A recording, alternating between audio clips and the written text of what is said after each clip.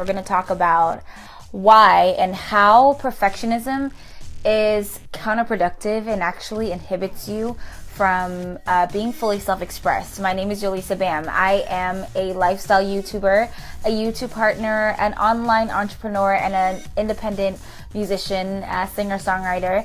I've been independent for the last five years, and I've been releasing my albums on my own merit, on my own dime, um, and have mastered and created my own system um, of actually building a career, selling records, building an income from your music, and I teach that in the music marketing toolkit. I um, am always in the business of my students. I am always like looking at if they completed their homework, if they completed their tests and their scores. I teach you how to launch an Amazon store and create a um, create an affiliate deal. And I have a lot of people who are just afraid to actually jump the gun and take action because yes, I give you the instruction, but you're you may not be that great at writing emails yet. You may not be that great at um, making videos yet and uploading your content and making vlogs. You may not be that great at um, you know talking to the camera. You may be so comfortable and just like performing and being a musician and some of the things I explain are new. But I just wanted to say that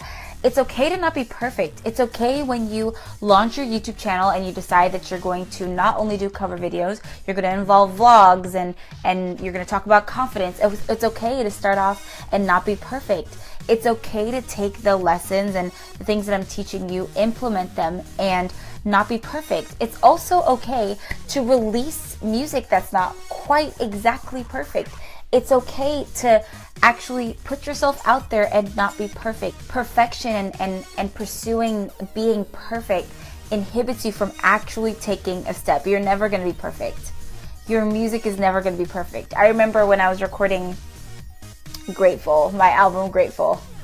I um I just kept writing and re-recording and re-recording and re-recording and recording and recording and eventually we just had to sit down and have a conversation of when we're going to stop when are we going to stop this project?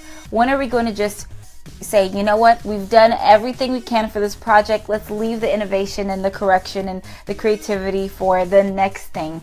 Um, we just had to set a date to just complete it.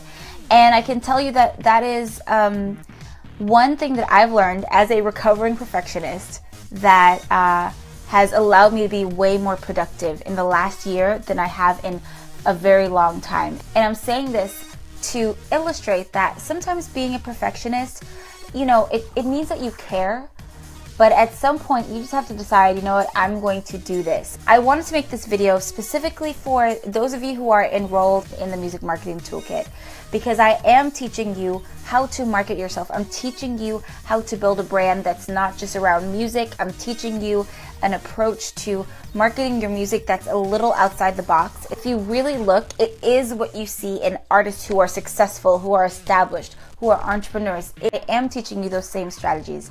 I'm teaching you how to merchandise. I'm teaching you how to um, build sponsorship deals, even if you don't have the biggest fan base yet. And I know that sometimes taking those first steps, it's not easy. You're better off spending your time digging deep into the places that matter the most. So being a perfectionist is not is not helping any of us. It's not helping me, right? And it's not helping you.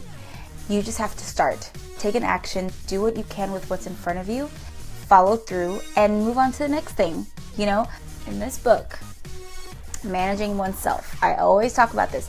You can find this in uh, the resources on, at my website, yolisabam.com.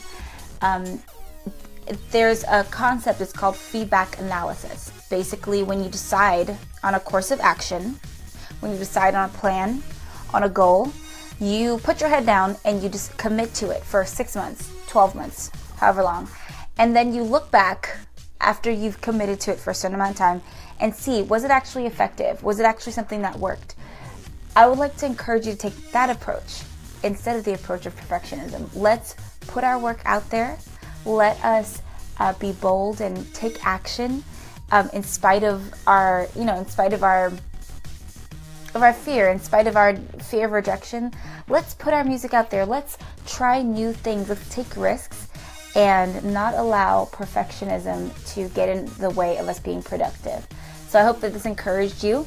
Um, if you would like to, if you like this video, um, make sure you head over to my website, yolisabam.com. I have a bunch of blogs, resources. This book is on there, um, as well as some more kind of self development tools that would encourage you.